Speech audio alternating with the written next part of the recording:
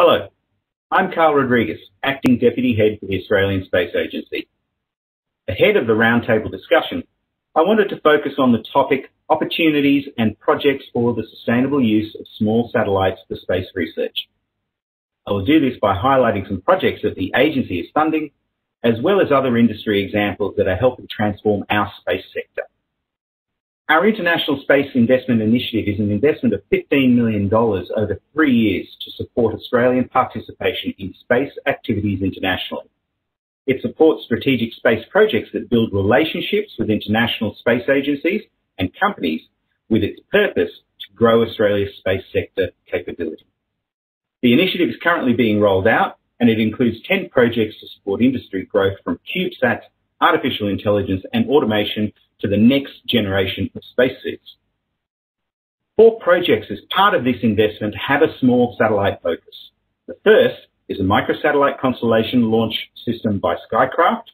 This includes the design and qualification of a satellite system for the deployment of Australian-designed microsatellites into low Earth orbit. The second is a decision support system for collision avoidance of space objects from the Industrial Science Group. This software will help satellite operators assess risks to satellites from collisions with other satellites and space debris. The third is an advanced GNSS receiver for CubeSats, rockets and remote sensing from the University of New South Wales. This project will modernise and extend the only Australian and New Zealand single frequency GPS receiver. This project will make the receiver fully capable of being used with multiple frequencies, antennas and systems. The fourth, the Spirit CubeSat mission in particular, is a project being led by the University of Melbourne. This mission will break new ground in high-performance autonomous operations, communications, propulsion, and thermal management. One main payload for advanced X-ray remote sensing will be on board, known as the Hermes constellation. This has been developed for this project with funding from the Italian Space Agency and the European Commission. This will be able to quickly spot gravitational wave events by detecting the X-rays they emit and use triangulation to help determine the direction of the source. This project will also demonstrate the viability of Australian products in the global supply chain of satellite components. CSIRO is also collaborating with Inovor Technologies, a South Australian-based satellite company, to design and build a CubeSat with a suite of infrared sensors. The satellite is called CSIRO-SAT-1. The satellite is being supported by a collaboration with various research organisations, including the University of New South Wales, Canberra, the Australian National University Advanced Instrumentation and Technology Centre, and the Defence Science and Technology Group, who are supporting the mission design, testing and commissioning. It is a research and development platform that will inform our ability to design, build and operate future satellites that could track fires and study the formation of clouds and tropical Linking back to the topic of focus, the highlighted projects can help support the sustainable use of small sats in a variety of ways. By ensuring the safety and positioning of satellites in orbit to avoid collision risks, by providing performance and accuracy improvements both in timing, position and or velocity estimation due to improved GNSS receivers, and by demonstrating the, vi the viability of Australian products and materials in the global supply chain of satellite. Overall, these projects can help support and inform future satellite small satellite missions going forward from both technology and research perspectives. Thank you.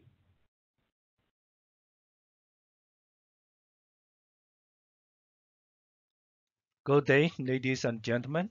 My name is Wang Chi from the National Space Science Center Chinese Academy of Sciences. I would like to discuss two topics. One is about the space weather mission and the ground-based monitoring network in China, and the other is about the international cooperation in the lunar and planetary exploration. Solar activity is the main driving source of space weather. ASOS is the first Chinese solar mission to study two types of solar storms, solar flare and coronal mass ejections and their relationship with the solar magnetic field. It will be launched in early 2022. As the solar storms hit Earth, we need to understand the response of the geospace. The SMILE mission is a joint mission between the European Space Agency and China to investigate the solar wind magnetosphere interaction in a global manner. It will be launched by the end of 2024. China has also developed a ground-based program to monitor the key space environment parameters. The Meridian project will consist of more than 300 ground-based instruments in 36 observing stations across China. As the international extension of the Meridian project, the International Meridian Circle Program (IMCP) is proposed to collect the 120 degree east longitude and the 60 degree west longitude chains of ground-based monitors to obtain the full coverage of the geospace process worldwide. As for the lunar and planetary exploration, China plans to go to the Moon, Mars, asteroid, and the Jupiter system by 2030. In January 2019, the Chang'e 4 probe landed on the far side of the Moon for the first time. Chang'e 4 carried four international payloads developed by the Netherlands, Sweden, and Germany. With the asteroid sample return mission planned in 2025, China has called for proposals on eight types of scientific instruments on board this mission among universities and research organizations, both at home and abroad. In the future, China has initiated the International Lunar Research Station, which is to be located in the lunar South Pole region. It will be developed through a number of upcoming robotic Chang'e mission across the 2020s and expanded through the 2030s.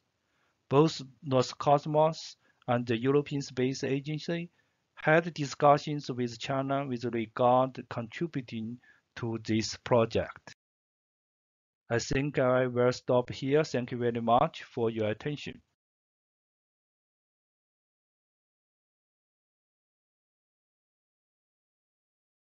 Ladies and gentlemen, dear colleagues, every other year, the COSPAR Assembly is a highlight event that brings together the global space research community and let me first express my gratitude to Australia for organizing this 43rd assembly in such difficult times.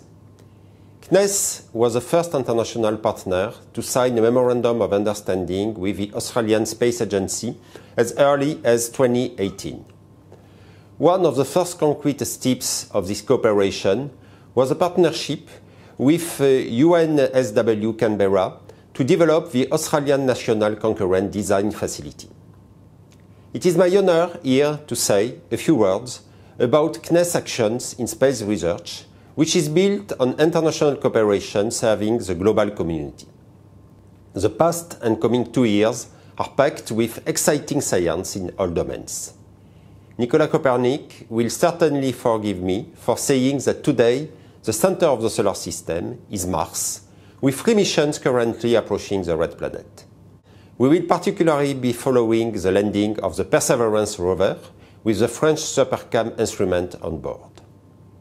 In the solar system exploration category, let me mention also ESA Solar Orbiter mission, to which CNES is contributing, which is now beginning to acquire science data as it approaches to within 40 million kilometers of the Sun, becoming the first space probe to observe its poles directly, and the return of tiny particles collected from asteroid Ryugu by Japan's Hayabusa 2 mission that will be the subject of extensive scientific investigation this year. Soon to be sent to VL2 second Lagrange point, 1.5 million kilometers from Earth, ESA Euclid mission will seek to unlock the secrets of dark matter and dark energy. Back in the vicinity of Earth, but still in the field of exploration, ESA astronaut Thomas Pesquet from France will be flying again to the International Space Station this spring. There will be 14 French scientific experiments on board. Last but not least, CNES has been committed to studying our planet and its changing climate ever change since inception, and this is continuing. We are working to support concrete actions like the Space Climate Observatory, to which 27 space agencies and governmental organizations have already signed up. The US-French SWOT mission is in final development stage, progressing well in spite of the logistic challenges posed by the pandemic.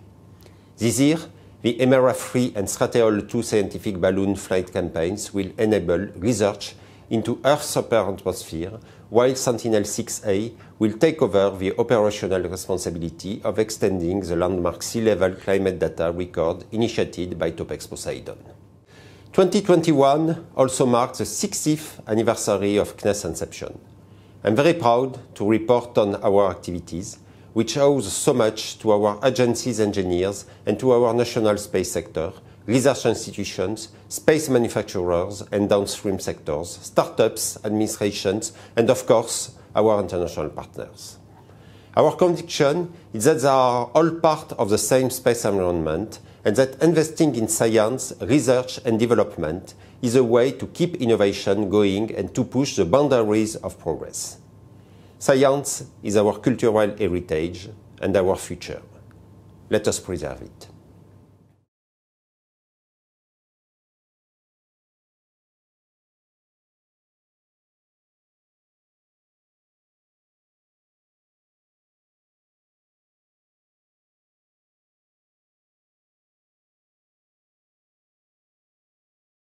Dear colleagues, the modern scientific community faces global challenges. Our changing climate is just one example why space research and the cooperation promoted by the COSPAR Scientific Assembly are more important today than ever before.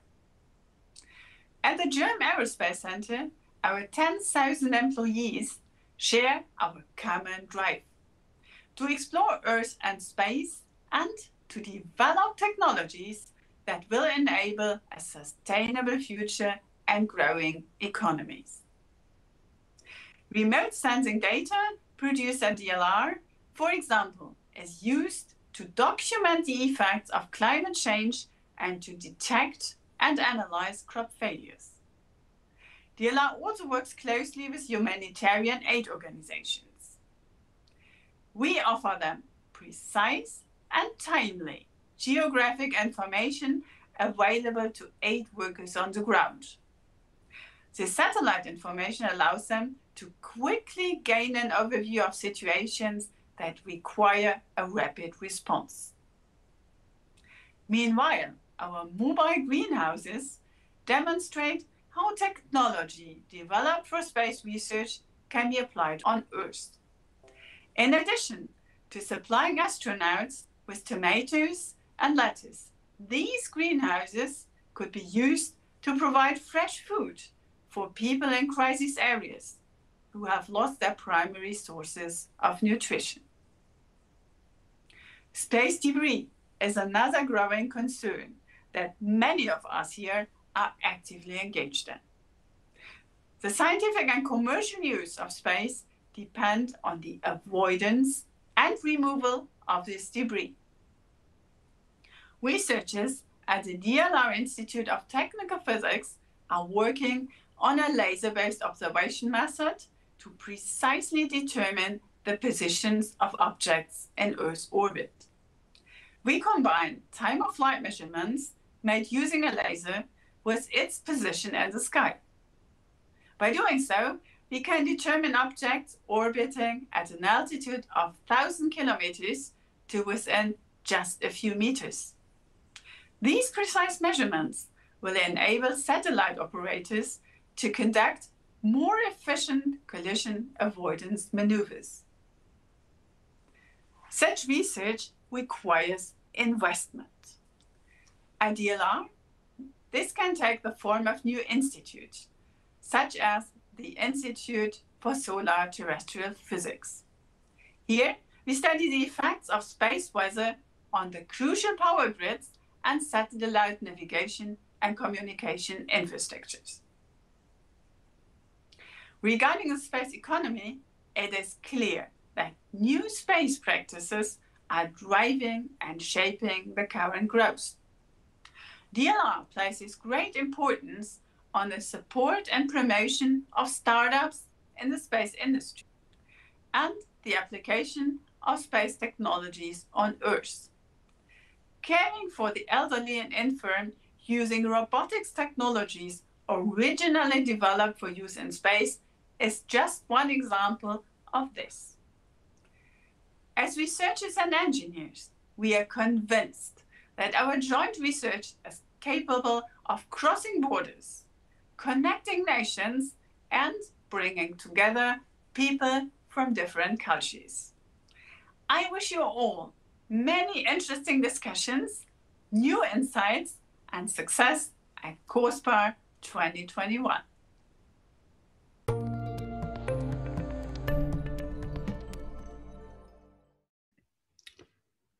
The Hellenic Space Center is one of the youngest, if not the youngest, space agencies worldwide. It was established one year ago and still struggles to overcome the bureaucratic hurdles associated with every single step towards full functionality. Being part of the wider public sector, we have to observe very strict rules regarding procedures and in particular regarding employment. Therefore, staffing has been extremely slow paced. Nevertheless, we have already launched activities that do not require staff besides our governing board, which is composed by leading scientists and engineers of our country.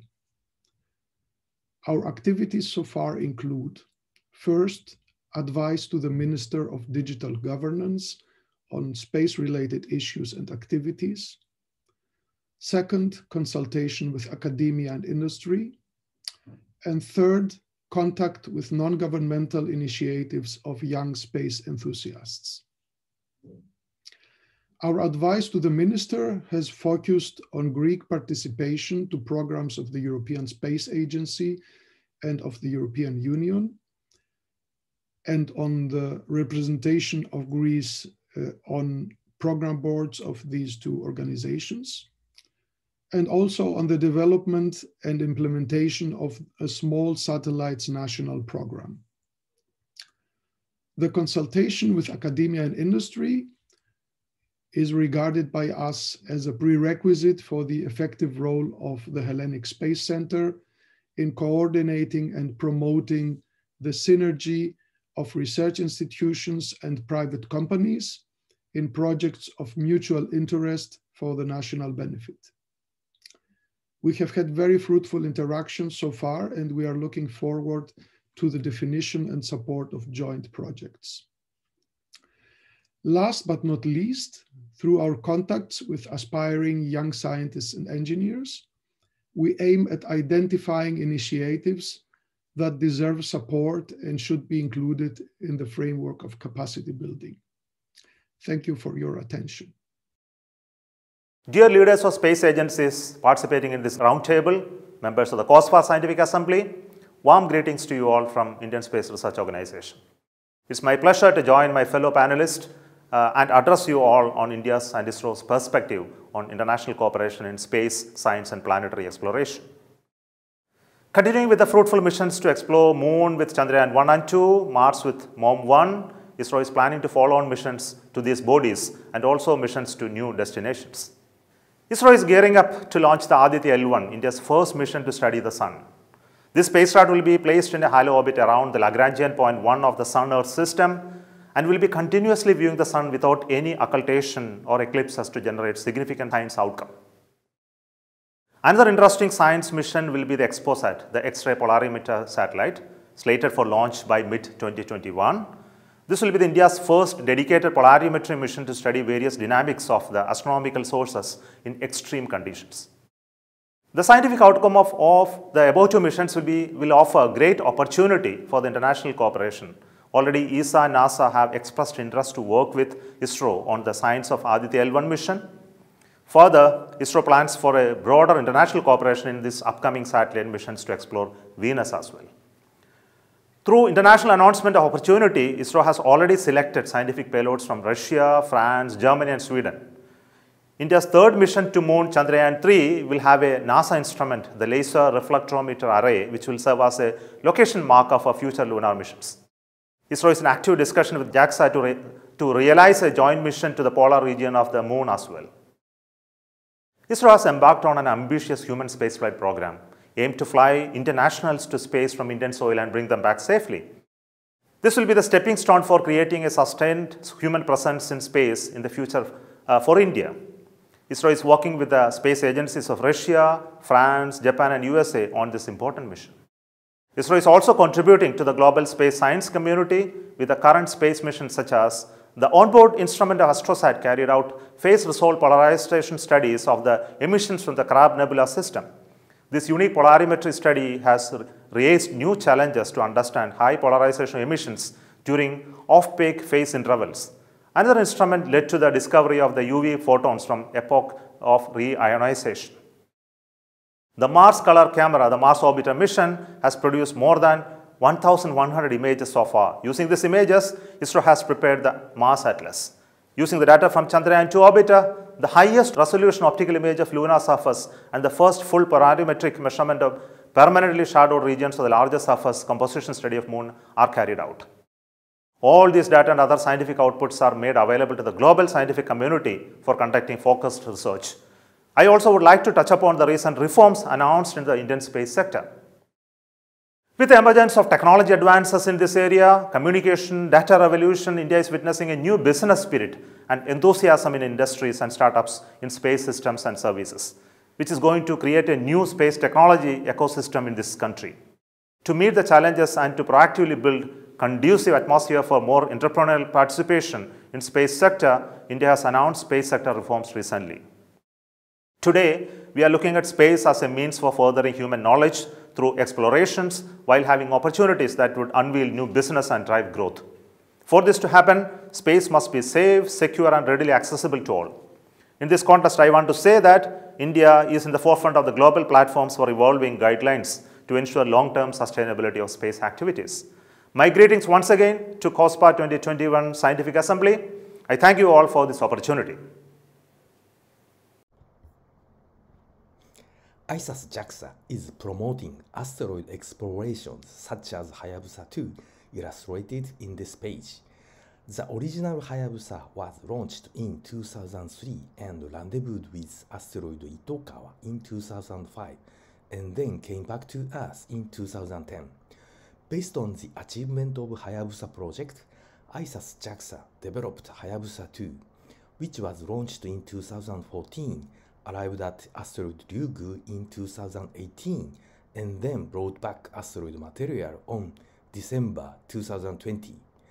They are very tiny spacecraft with about 600 kg, powered by fuel-effective ion engines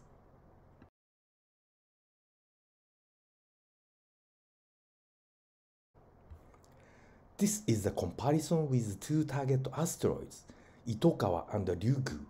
Itokawa is an oval-shaped stone type asteroid with 500 meter as tip-to-tip length. On the other hand, Ryugu is a spinning top shape carbon-rich asteroid with 1 km diameter.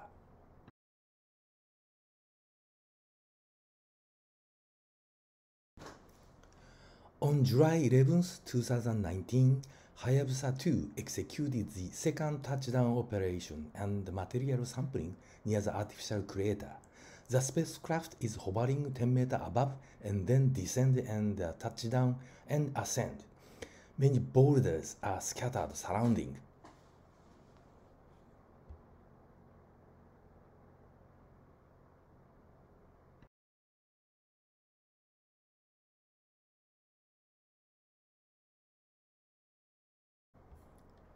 Hayabusa 2 came back to Earth and dropped the sample return capsule, which landed on Australia Woomera on December 6, 2020.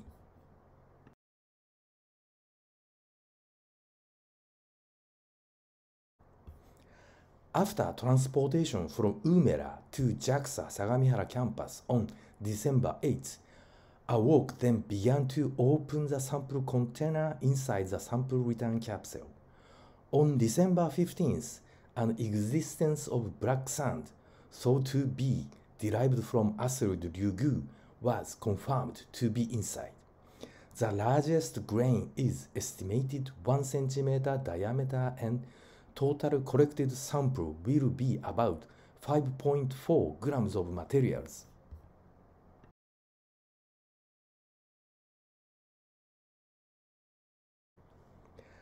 ISAS JAXA and Hayabusa 2 project are supported by international space community from US, Germany, France, and Australia.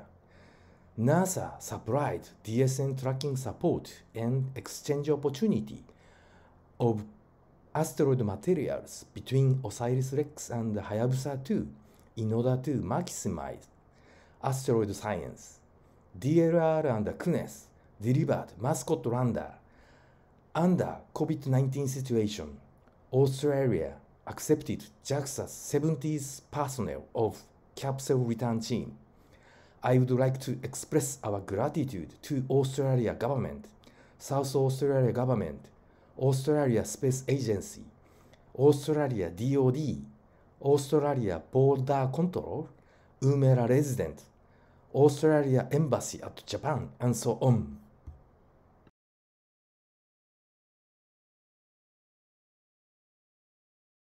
Hello, I'm Andrew Johnson. Despite its challenges, 2020 was a successful year for the New Zealand space sector. We had six successful launches from New Zealand, including deploying our first student payload. We are already preparing for the first launch of 2021. We're partnering with the Environmental Defence Fund in the MethaneSat satellite mission. The mission will use the latest scientific and technological innovations in sensor design, spectroscopy, data retrieval algorithms, and flux inversions to distinguish anthropogenic emissions from ambient sources and trace them back to their origin. New Zealand will take responsibility for mission operations and establish an atmospheric science program on agricultural methane that will complement the mission's main science on oil and gas industry emissions. Under agreements with NASA and Air New Zealand, next generation GNSS receivers for the CYGNSS mission will be installed on domestic aircraft and will collect soil moisture data as they fly across the country. The data will be used for scientific research into global water cycle processes and their interaction with climate, including effects such as flooding, droughts, and coastal erosion. Last year, we ran a series of virtual workshops with researchers at DLR, the German Space Agency, and in New Zealand to explore collaboration opportunities in propulsion, synthetic aperture radar, and optical communications technologies. We've just completed a call for proposals for Phase A studies on these three topics and look forward to some really exciting projects emerging from this. New Zealand is exploring innovation in areas such as propulsion to make space more accessible and sustainable. Our key initiatives include trials to integrate controlled airspace high altitude vehicles and horizontal launches being developed and tested in New Zealand. New Zealand is also funding research for developing ion thrusters incorporating superconducting magnets on spacecraft. Sustainable use of space is not just about science and technology. Policy, regulation, and international cooperation are critical to ensure that we can continue to have access to space for scientific endeavours. New Zealand's regulatory regime requires that licensing decisions carefully consider the risk of orbital debris before granting permits for launch. We continue to trial LEO Labs' tracking service for satellites launched from New Zealand, incorporating data from LEO Labs' phased array radar system, including their radar here in New Zealand. We also work multilaterally through the UN COPUOS, as well as with other countries, on developing and implementing good practices for ensuring space sustainability. I'd like to commend our Australian cousins and hosts and the COSPAR Secretariat for enabling this hybrid meeting. I look forward to listening to the other presentations and the panel discussion.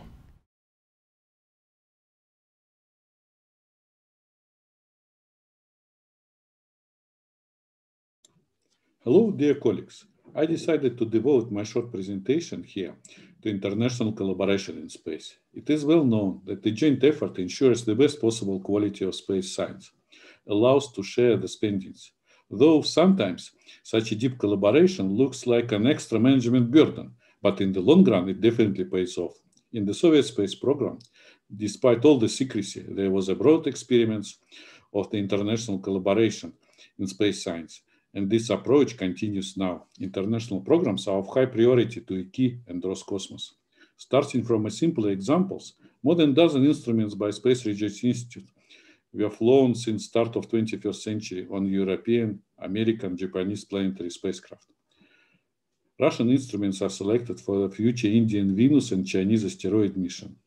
A number of payloads, mostly from European partners, are being prepared to launch on the nearest Russian missions. But delivery of small instruments is not just all what we have. The brightest recent example is Spectrum RG mission, which maps the X-ray universe with two telescopes, one German and one Russian. After one year, the map already includes a million of sources, and three years are still ahead.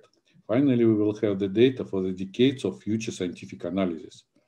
It is only with this joint effort the project could work out. Another example is a difficult path of the ExoMars project. ExoMars orbiter was finally flown in 2016 on a Russian rocket with two core Russian instruments on board. We got very interesting results on details of water ice on Mars and on minor components in the atmosphere. We are in a final stage of preparation of ExoMars lander and rover, which involve an unprecedented level of technical interdependence. We're expecting very high scientific return with the launch in 2022. In the frame of, of the ExoMars project, we also accomplished one more very important technical challenge with the mission ground support. For the first time, the Russian antennas regularly received the data from the European deep space spacecraft. In 2020, more than 70% of ExoMars data were received in Russia. Test reception was performed also with Mars Express. On the other hand, ESTRACK network helped a lot to cover poor visibility of spectrum RG from the Russian territory in the April-May 2020 during the next year, the tests of uplink will be performed. This effort creates a very solid basis for the next joint projects. Future missions are continuing this pursuit. In the Russian lunar program, a significant European participation is planned with such core elements as safe landing and regular drill. Several agreements are signed on lunar exploration by Roscosmos and Chinese Space Agency. We hope that these projects, the first of which should be launched in 2021, will open the way for a deeper international effort on the moon surface. Just to mention about this year, a joint IKI NASA working group is discussing the future flagship Venus project. Finally, I would like to thank COSPAR for the organization of these meetings of all agencies and for the principal support of collaboration in space science. However, we are entering now very important historical moment when we need to define the post-ISS construction and the renewal of the human space flight to the moon we have a challenge to extend the spirit of collaboration on the exploration agenda. And I'm sure COSPAR can play a very productive role here. Thank you very much.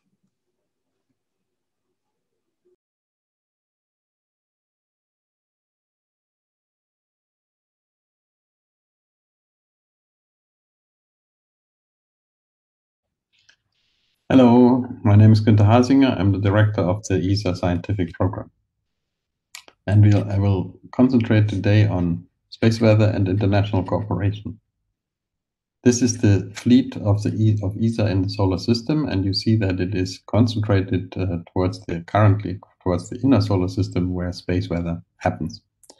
In March 2020, no, in February 2020, we we launched Solar Orbiter, studying the inner workings of the sun, and already in the very first pictures that we received, we have discovered uh, a new phenomenon, campfires on the sun, which may very well be um, contributing or responsible for the heating uh, of the sun.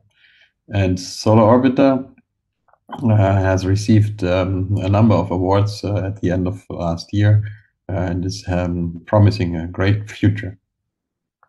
Now, um, in parallel, we have um, uh, Bepi Colombo on its way to Mercury, and um, this year, last year, uh, it has flown by both Earth, as you see above, and Venus, as you see in the movie below, working its way to the inner solar system, but simultaneously measuring already the solar wind and the plasma together with the other missions that we have in orbit, uh, Solar Orbiter, Cluster, Bepi Colombo, Swarm, and others work together like an orchestra uh, with different uh, instruments.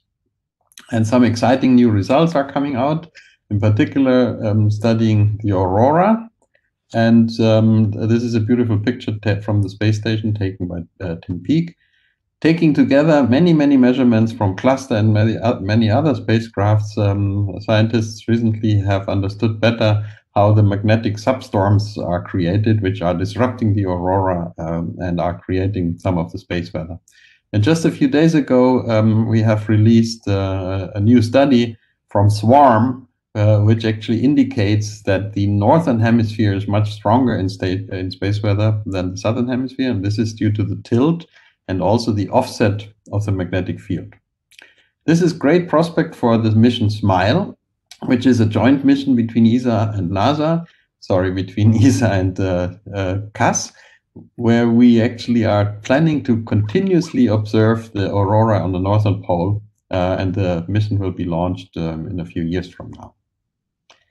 Now coming to the astrophysics fleet, uh, where our current working horses are Hubble, Gaia, Cheops, XMM Newton, and Integral, and I just want to show you two very nice results from uh, one from XMM Newton and one uh, from Hubble, uh, showing the power again of international uh, cooperation. So in uh, this picture, uh, a cluster, a very large cluster of galaxies has been observed both with the optical telescope Subaru, with the X-ray telescope XMM Newton, and in the radio. And you see that the different components of the cluster, the normal gas, which is appearing green and red here, and the dark matter, which is appearing blue, are actually well separated, uh, again indicating that dark matter is a substance of its own. And Hubble Space Telescope has recently made a study where they looked at one of these uh, very strong uh, clusters and they were able to make a model of the dark matter uh, and have actually found that the dark matter is much more clumped and much more clustered than originally anticipated.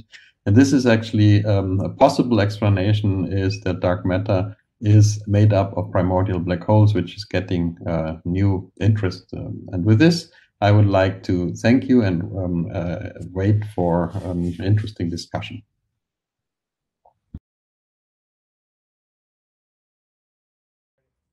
Hey, I'm Thomas Zurbuchen, the head of science at NASA, and I'm so excited to be part of this important panel. From decades of experience, NASA knows that leveraging the power of its relationships accomplishes big goals. At NASA, we do that daily, in space and on the ground, and by doing so, we improve the lives of people on Earth while advancing our understanding of this planet and of space. Because we inherently value diversity and principles of openness and transparency, NASA has and will continue to set the standard for peaceful cooperation among diverse nations. More than half of our cooperation is with a small group of about eight valued countries, but in recent years, there has been a wonderful growth of nations of all sizes showing an interest in space, whether they have had their own space agencies or not. They all have scientists making discoveries, and the inspiration of the world's ever growing accomplishments in space is not limited to borders. We know that we need to extend our relationships and publicly available data, tools, and expertise to emerging partners. So, by growing our cooperation and increasing our nations we partner with, we know that we will all learn new approaches and perspectives and make new discoveries on behalf of all of humanity. I think organizations like COSPAR share my view that science spurred by diversity of opinion and backgrounds can help bring hope in these uncertain times and help us collectively solve our problems and unify us all as one species of explorers. This is why I'm excited to announce a new opportunity for partnership today that we believe will fit well within COSPAR.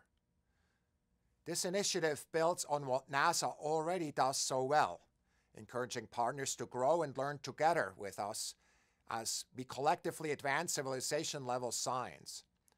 The kinds of things that make all humanity gasp in awe, like the first images we returned from Mars, or the first time we set foot on the moon. Under a recent agreement with the United Office for Outer Space Affairs, we will be working closely to leverage our publicly available scientific data and support new and innovative commercial partnerships with American companies to achieve the United Nations Sustainable Development Goals, which seek to create a safe and prosperous future for all of humanity to enjoy. The agreement also supports the work of COSPAR to establish norms of behavior and principles such as transparency and due regard that provide the clarity necessary for safe operation in space. In addition, we soon will issue a request for information from U.S. institutions on innovative ways to increase the mission development capacity of our newer partners.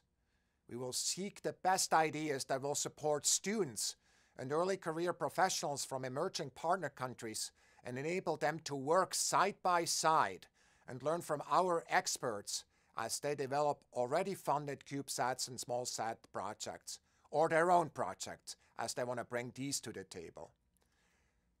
Our hope is that this hands-on experience will build upon the scientific method that we've already pursued and in the conduct of Earth and space science and provide a new and useful platform for our collaboration with emerging partners.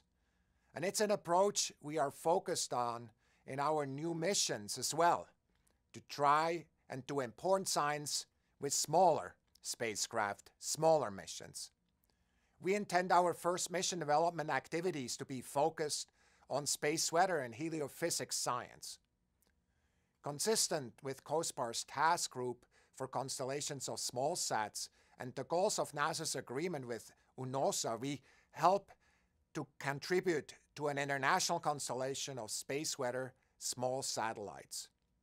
A request for information will come out shortly that will be broad enough to allow for multiple avenues to accomplish that objective.